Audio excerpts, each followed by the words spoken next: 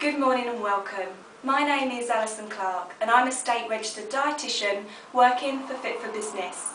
This morning we'll be doing a presentation on all the good mood foods. However, we also do nutrition seminars, healthy eating workshops and food labelling workshops.